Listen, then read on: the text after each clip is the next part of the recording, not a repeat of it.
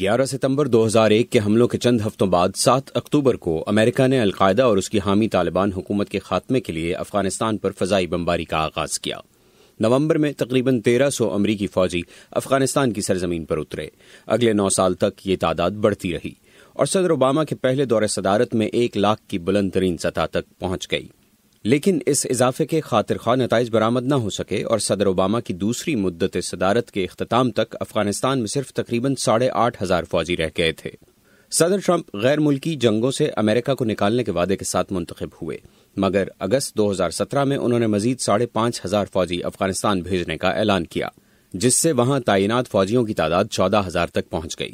طالبان کے ساتھ معاہدے کے لیے دو ہزار اٹھارہ میں مذاکراتی عمل کے آغاز سے اب تک امریکی فوجیوں کی تعداد میں تقریباً دو ہزار کی کمی ہو چکی ہے۔